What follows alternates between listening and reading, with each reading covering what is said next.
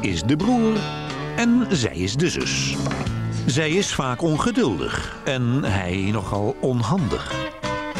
Hij is wat verlegen en zij wat gestrest. Zeg eerst even wat jij ervoor betaald hebt. 85 gulden. Jij ook zoiets, toch? 22,50. Nou, eerst naar buiten, dan kan ik weer praten. In de clinch vanaf morgen op 1.